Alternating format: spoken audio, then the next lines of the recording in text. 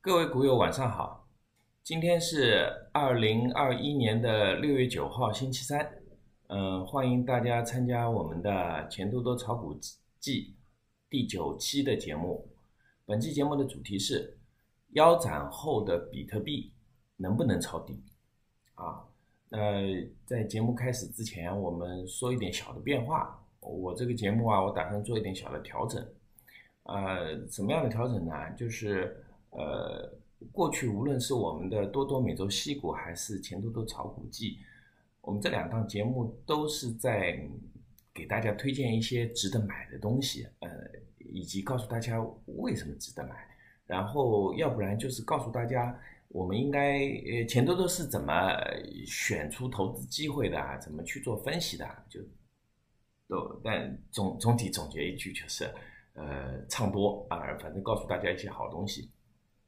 那么，呃，我我今天这个这个想了一下啊，我觉得，嗯，我我不能一味的只只告诉大家一些我的研究的一些这个比较好的精华的部分，告诉大家。那实际上呢，这个我觉得有必要做一期调整。呃，这个我们钱多多这炒股机呢，也本身也就会做的比较任性。这个任性就会体现在说，我想说什么就说什么。我我我心情好，我就多开几期。比如说最近开的比较多，那我不想讲，或者心情不好，或者是没时间，那我就就可能很久都不出节目，这都有可能，好吧？所以比较随意。那么我已经解释过了，这样我的压力是最小的，对吧？那么呃，为什么在这个风格上要做一些调整呢？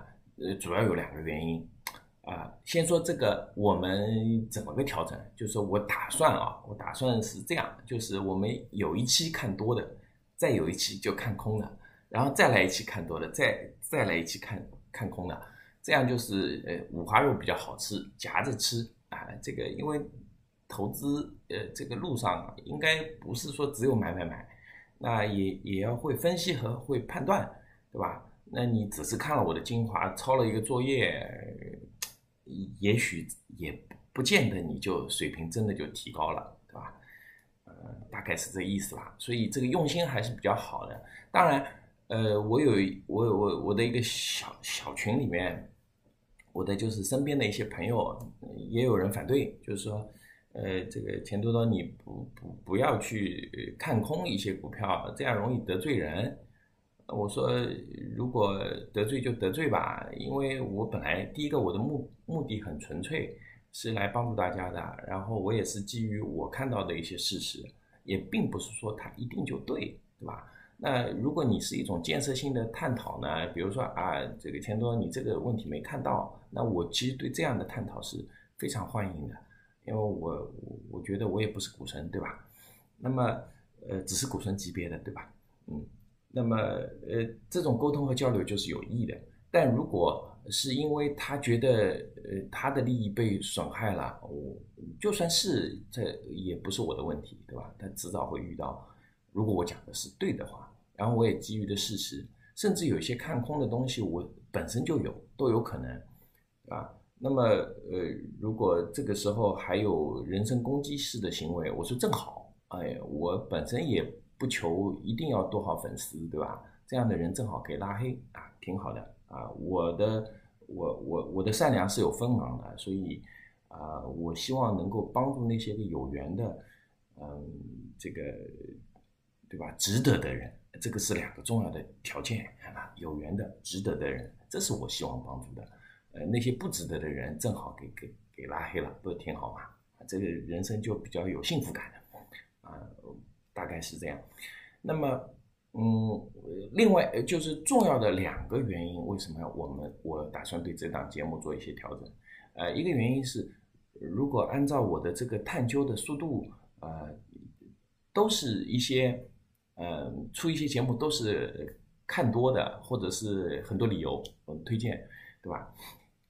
我相信，并且我也已经发现，呃，我的一些朋友们、粉丝们啊，这个老铁们啊，这个叫什么？子弹跟不上，就是你钱不够多，你你你你是钱多多也不够多，我自己都不够多，对吧？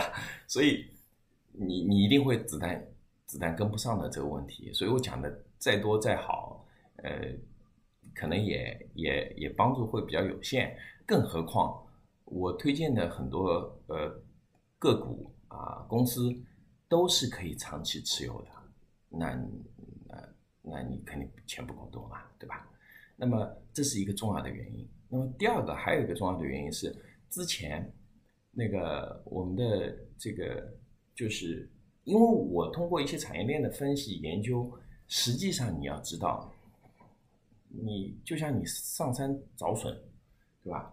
嗯，你是用了大量的时间排除了各种各样的可能性，是不是？或者是你做了各种各样的研究，说这些东西不好，那些东西不好，那些东西不要，你找到的东西是非常有限的，对不对？那正因为这样，其实我在做研究的时候，我其实看了非常非常多的东西，或者说，我如果要把那些个结论拿出来说这个东西不行，那相信这样的公司或者这样的股票的数量，一定是我挑出来，再通过多多每周细股或者是钱多多炒股记。这两档节目告诉大家的那些个结果，我基本上这样告诉你，至少没呃至少没有一百倍嘛，也有也有几十倍 这个数量，对吧？你否则找不出，对吧？你不可能，你你你一看你看了一个股票，它就是个好股票，不是这样的。实际上你都是，对吧？都是十里挑一、百里挑一的东西，就大概是这个意思。所以呢。你说那些被淘汰的东西，呃，拿出来讲一讲，呃，是不是对呃我们的很多认知、很多常识会有帮助？我说肯定会，而且我在这个中间也获得很比较多的乐趣，是不是？所以我觉得把这些看空的东西拿出来跟大家讲的，其实蛮有意义的，也一样很有意义，好吧？好，那我们进入进入正题，呃呃，今天讲的是关于比特币的，那么实际上呢？我们在过去多多每周西股的节目系列节目当中，对于有一期节目也是呃已经介绍过了，对吧？那个这期节目是多多每周西股的第二十期，呃，二零二一年，也就是今年的二月二十二号，对吧？我那天还说了这个这日子比较二，对吧？然后介绍了比特币的产业链的一个投资机会，分成了上游、中游、下游，对吧？就是你可以到我的那个呃我的资料里面，然后有一个栏目，就是动态和专栏嘛，那就点专栏。专栏里面我整理的是比较好的，所以你找起来也会比较方便啊。那个第二十期啊，这个大家可以去回顾一下。那我就不啰嗦了，在这个部分，今天的我也打算讲快一点。先说结论，比特币能不能买？呃，我认为是不能买，呃，哪怕现在是腰斩了。啊，我们可以来看一下股价，啊，先先对它的整体情况做一个了解啊，看一下股价，稍等一下，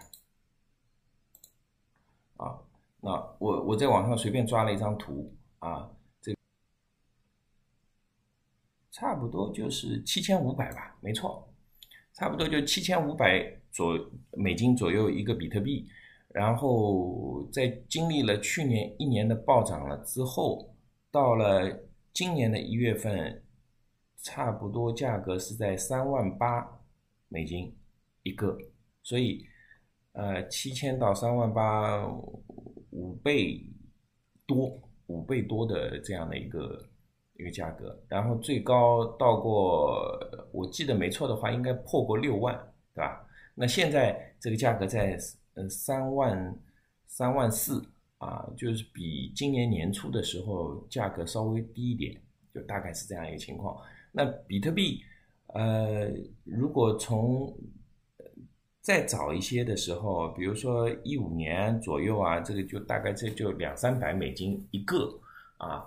那我最早接触比特币的时候，就是属于当时我我我我在呃我还在 Intel 啊那个时候。比特币大概就是好多个比特币只能买一个披萨啊，所以这就是比特币披萨节这样的一个来源啊，就是那个时候 比特币，对吧？这个挖起来也比较容易啊，随便一挖就能挖得到啊，大概是这样，我们就切回来。所以这个比特币这个价值啊，我现在不能买，我这是我的观点，等一下再讲原因。那我会说，我之前也介绍过，我不买比特币的两个原因。呃，第一个原因是说，我我其实是在战略上是非常保守的，就是我在战略上非常非常保守，在战术上很激进啊，这是构成了我一个比较主要的投资风格。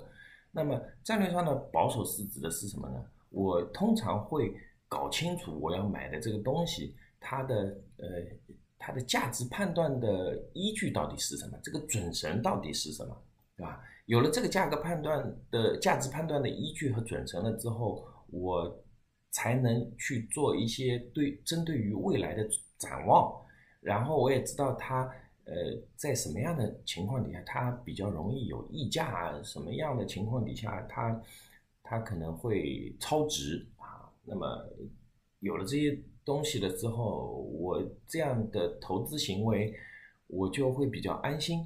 那我自己安心，甚至我会喜欢。我喜欢了之后，我就拿来做，对吧？大概是这样。这个我觉得其实挺淳朴的一个投资的理念和想法。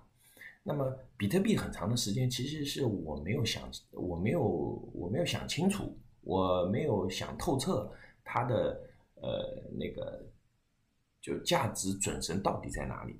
那么，呃，在去年的时候，我很认真的去做了一下功课，并且也做了呃相应的节目。呃，我认为我已经搞清楚了。那那期节目我也讲了，就简单来说是，比特币是一个锁定能源的，通过算力啊，你你要你要有足够多的算力，然后通过寻子，反正通过哈希算法寻子，然后消耗了。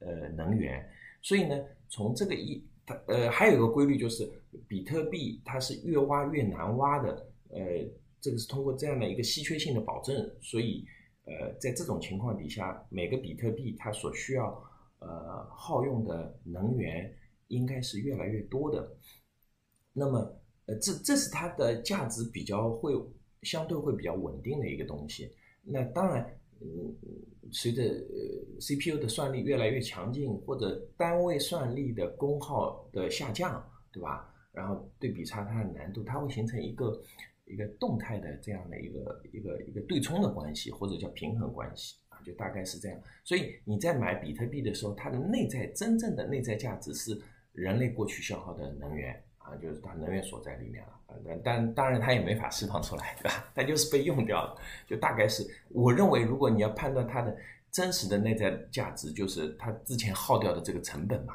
就是能源的成本，这个大概是它的准绳。那么，嗯呃，另外一个啊，对吧？另外一个就是关于它的那个，我另外一个不去买它的原因，就是我会认为，嗯。这个你可以说我比较迂腐啊，就是说你去这样通过一种毫无意义的挖矿的行为，挖出了一些呃所谓的比特币啊，也就是最后一个寻子一个地址对吧？一个数字，然后它它它能换钱对吧？那我觉得这个财富呢，就还是属于比较无中生有，呃，然后有点作弊的感觉啊。这个君子爱财，取之有道。那我我是一直不太喜欢这样的做法的，所以正因为这样，所以我那个在比特币非常好玩的时候，我也我也不会动这个脑筋啊。那呃，就算它的价值很很高很高，几万美金一个，我也不稀罕啊。反正我就这么迂腐，好吧？这就是我不买比特币的两个重要的原因，好吧？那么之前呢，为了做一期节目呢，其实我有小小的。呃，短时间呢买过一些个呃期权啊，有有一笔是赚了，有一笔是赔了。这个通过今天这个节目呢，也可以跟老铁讲一下。那我在整个产业链当中，当时我看中的是那个就比较上游，就比特币的挖矿设备。呃，那个通过一个叫易邦国际，当时我做了一个期权的短差，反正就拿了。几天吧，可能是拿了几天，赚了几千美金啊，就这样。然后呃，后来买了那个叫这个 Can，对吧？这个持有了一段时间，反正 Can 也跌得比较惨，然后那个期权就归零了，就大概是这样啊，好吧。这个我也只是为了做节目，所以我我才会去买一点，呃，以便于可以自己，因为做了这个研究，不去买一点，我就比较痒，心里比较痒，所以输了也就输了也没关系。但一进一出嘛，那可能也也不算什么损失，大概是这样啊。我也没指望他赚钱，玩玩嘛，啊，就大概是这样，好吧？那么呃。今天这档节目呢，看空的理由我需要跟大家讲一下啊，呃，先讲第一个理由，就比特币在整个去年是非常非常火的。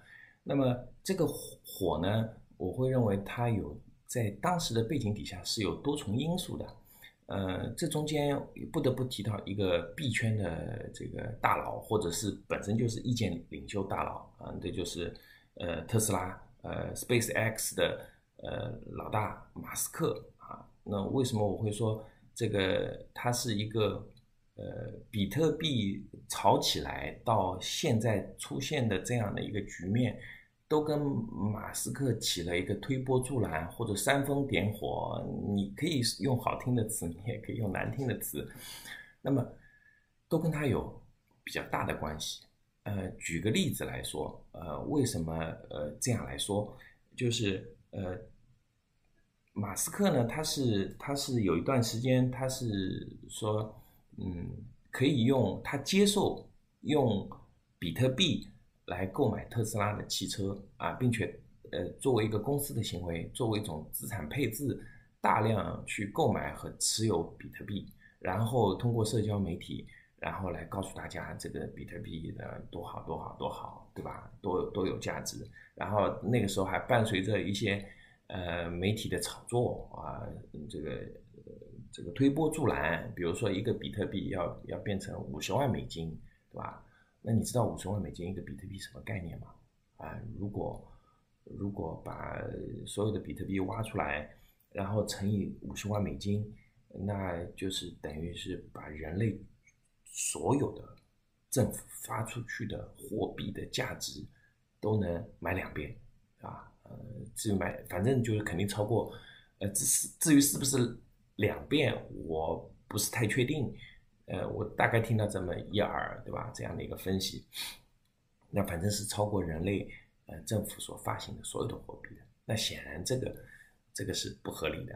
那么，呃，这个中间，嗯，为什么能够造成这样的大幅的上涨？它的内在的原因是什么？我会说，如果它只是作为一个呃金融工具、金融避险工具这件事情，在我们呃多多戏骨的节目里面已经表述的非常清楚了。比特币不是一个货币，我认为它只是一个呃类似数字黄金的这样的一个金融避险工具，对吧？那如果它很安心的，或者说整个币圈的人。呃呃，整个社会的共识是把它当成一种数字的黄金，作为一个金融避险工具。那我会说，这个对于各国的政府啊，这个就发钞的政府啊，或者是像美联储这样的非非非完全政府组织，那对于他们来说，这个其实并没有动他们的奶酪，因为。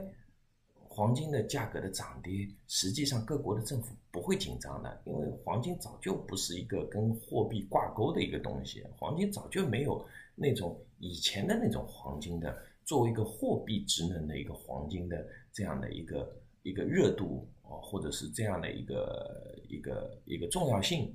呃，实际上很多人只是脑子里觉得黄金重要，黄金很昂贵，那它只是因为这个长时间的这种。社会的舆论和惯性和过去的历史给出来的一些条条框框，很多人很难打破这个。从原理出发，打破那个条条框框。黄金没有跟黄金、白银，或者是呃，还不如那些稀土所炼出来的那个稀有金属呢，对吧？黄金也有一些工业上的用途，但实际上这个都没那么重要，就大概是这意思，好吧？那比特币如果安心的守守在那个叫数字黄金避险工具这样的一个定位上，那我会说大家都还可以相安无事。但是马斯克这样的人，他通过说我打通了，让它变成具有一定的货币职能，然后呢，大家会觉得哇，那这个一旦它比特币变成一个货币，又又不受政府监管，又又又那个又有稀缺性的保证，又不会滥发，对吧？然后又又又又能加密，又不能被追踪，产生了那么多的好处，那肯定能干干掉呃全世界的货币，变成呃那个全世界通行的货币，对吧？那以后就没不要美金了，也不要人民币了，也不要日币了，不要欧元了。你觉得各国政府会答应吗？这是就是本来金水不犯河水，你现在踩人家红线，那不是全全球各个政府都都要围剿这个比特币吗？那当然，果然这件事情就开始发生了。先在中国发生，中国中国政府说不许挖矿，为什么呢？你看我们要碳中和，你在内蒙古挖矿用了大量的便宜的火电，火电用煤炭发出来的，煤炭一发，那个二氧化碳排放就非常非常的多，不许挖，关停，对吧？就关停了嘛。那么那有些人会说，呃，那我搬去四川那些地方，在水电比较富裕的地方，用水水电来进行。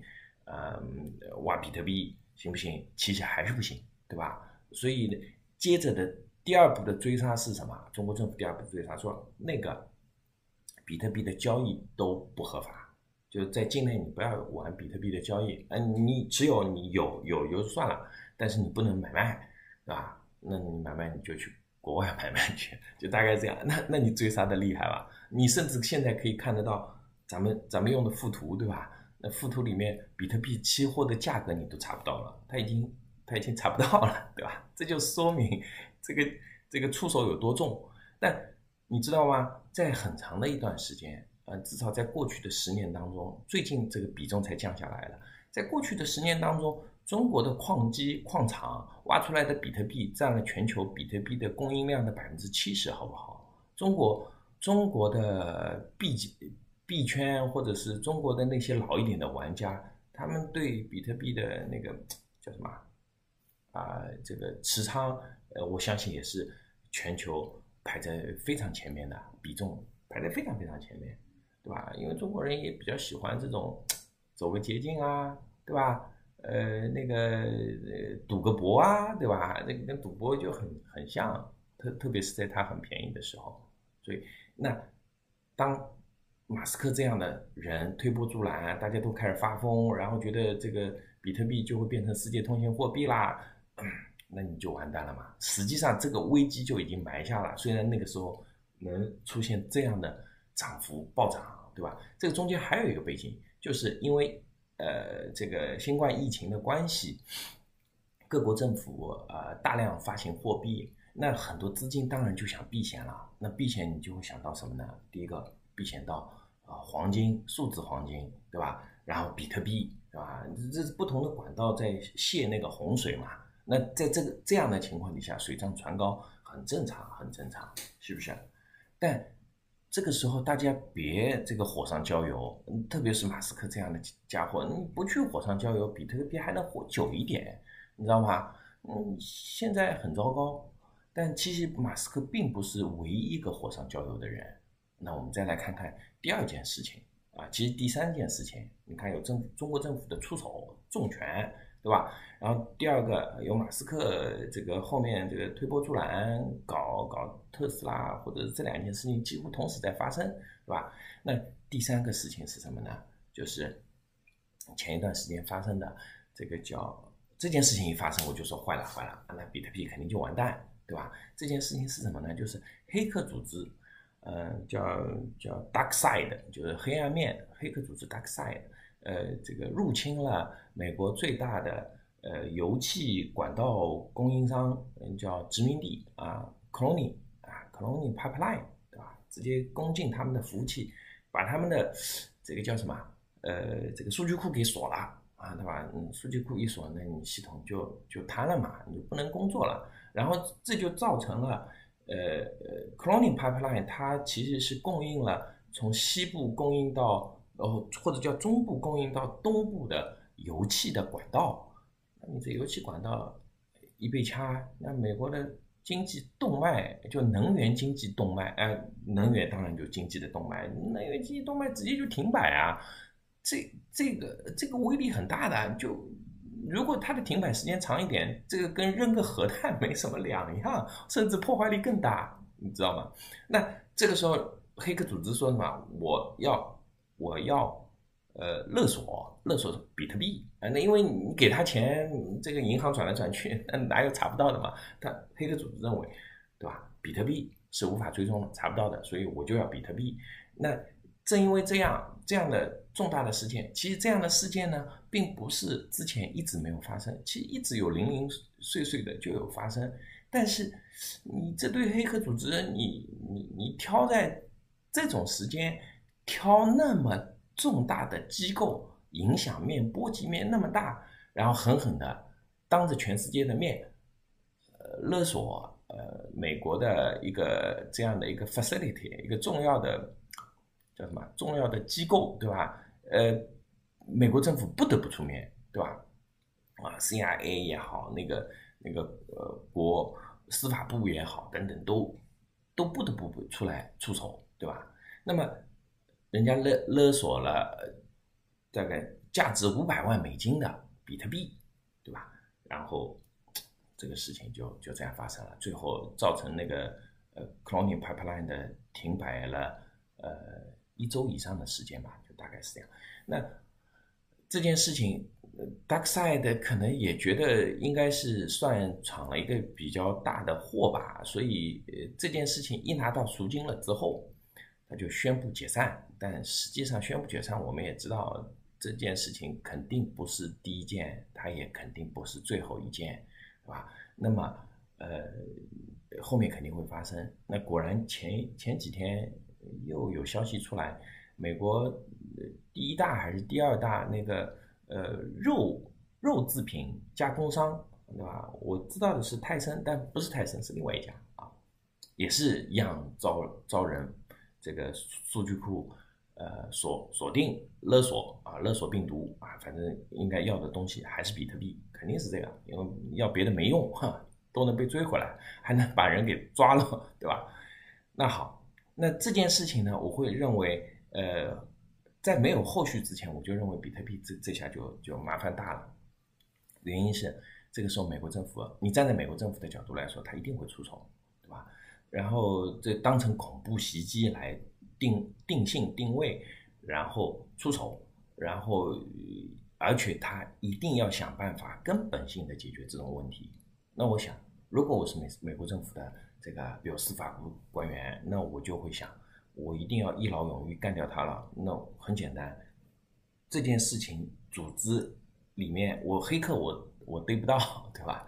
那。我就要想办法断掉黑客的那条路，那断掉它相对来说比较容易，就是把他的获得呃这个这个赃款赃物的这个路径给封了，那那他用的是比特币。那我就把比特币想办法给弄了，不就好了嘛？再加上比特币又有之前有那么多踩着红线想要替代货币这种可能性，然后炒得那么热，它会形成各种各样的对美元国际地位的一个一个一个一个重大的挑战，对吧？至少是可能性。呃，以前比特币比较便宜的时候，体量很小的时候，这从美联储的角度根本看正眼都不用看。对吧？那现在，对吧？你几万块钱一个，甚至还有人叫嚣要五十万美元一个比特币，那美联储不要正眼相看。更何况还有马斯克这样的家伙说这个比特币还能买东西，那不疯了？只要一能一能买东西，他就开始充当货币职能了。那这个事儿肯定要要消灭的，是不是？或者说一定要把它打回原形的，是不是？所以，那正好黑客又冲上来。对吧？搞了一把这样的事情，肯定不能一而再、再而三的发生，那一定要追杀的。这这种事情百分之百追杀，无论是特朗普在做总统，还是呃 Sleepy Joe 啊，对吧？做总统，这这个在老年痴呆也也也要管这事儿啊，对吧？那所以这件事情果然，你看，呃，这两天出了一个消息，美国司法部宣称。已经追回了，呃，这个叫什么六十？我看一下啊，追回了六十三点七个啊，已经追回了六十三点七个比特币。所以这件事情就意味着什么？币圈的人不是觉得为什么比特币有价值？除了它的稀缺性的保证以外啊，通过一套机制来保证以外，它还宣称它的机制是能够。呃，加密的、防追踪的，这不可不可追溯的，对吧？安全的，是不是？那你，司法部直接就冲上去啪啪打脸。至于他怎么把它追回来的，这不重要。这就说明，比特币不是币圈或者是那个机制里面所宣称的那个非常非常重要的那个特性，就不可追踪，对吧？那这件事情，呃，你再往下想。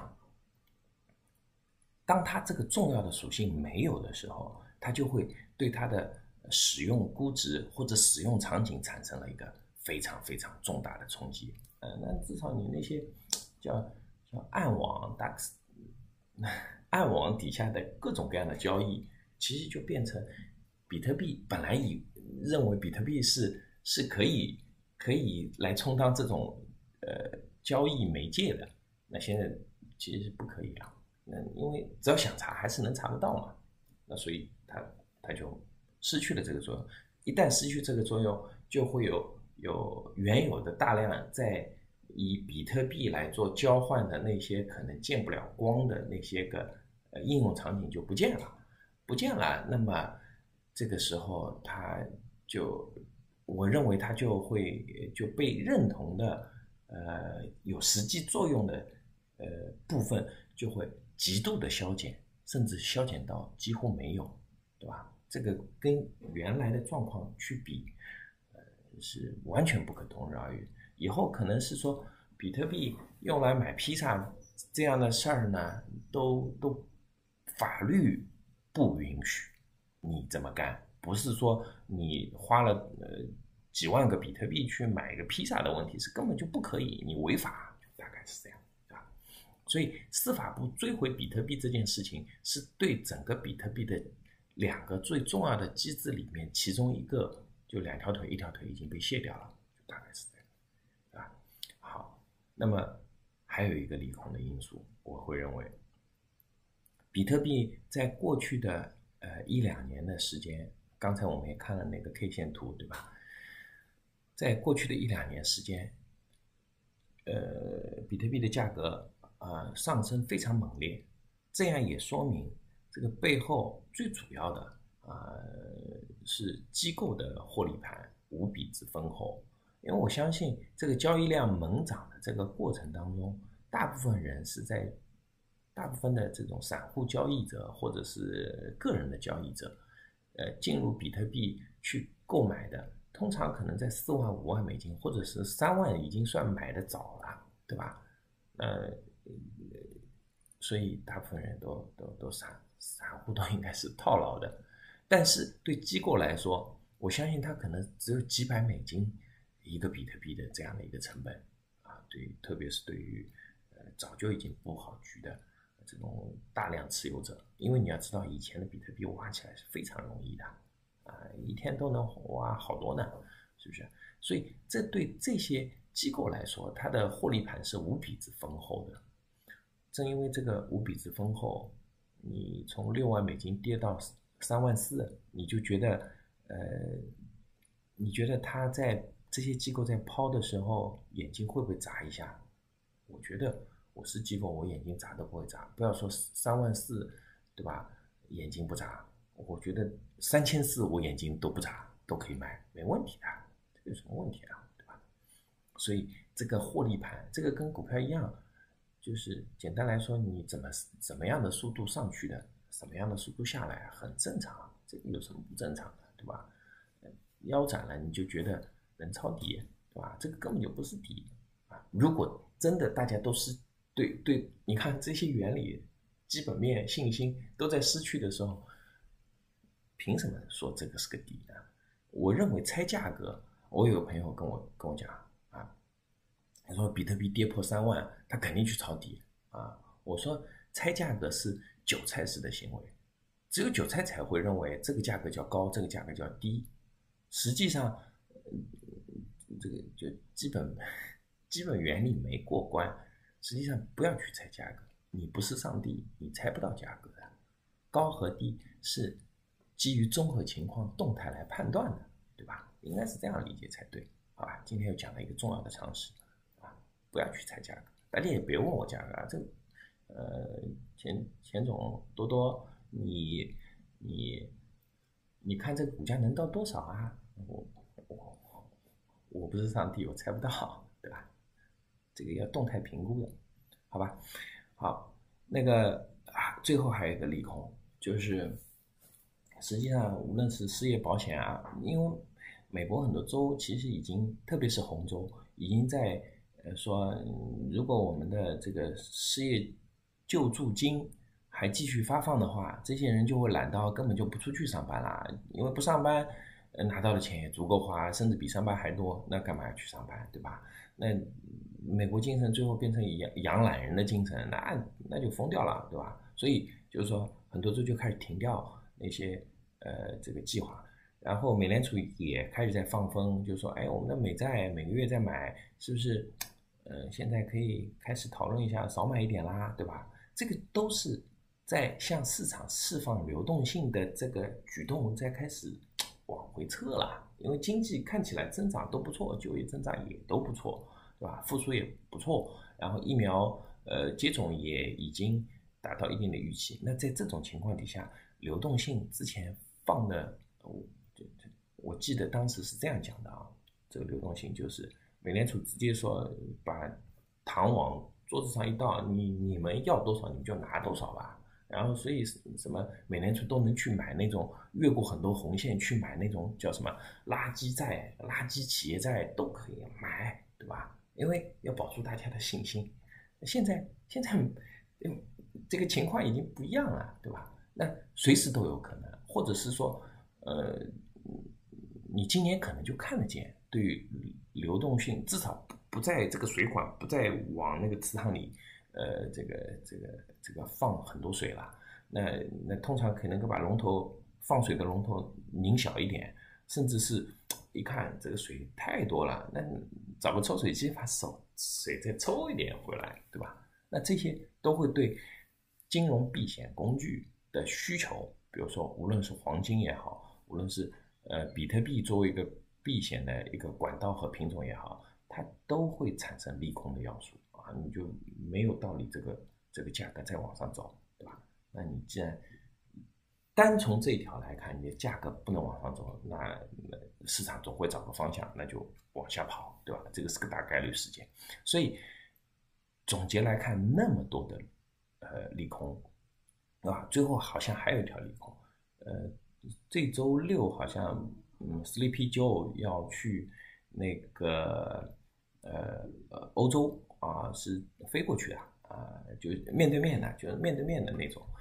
那说是要跟各国呃欧欧洲的各国去去欧盟去探讨关于呃比特币对金融风险的冲击的这个防范这样的一个话题。那所以这个呃无论谈成什么样啊，我认为这件事情放到台面上，它就也是一个重大的利空。